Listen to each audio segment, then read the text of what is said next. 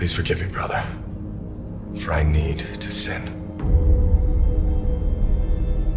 What acts do you wish to commit, my son? I need to covet power, to succumb to greed, and I need to kill. To bathe in the blood of demons once more. Sounds like you seek permission, not absolution. I do.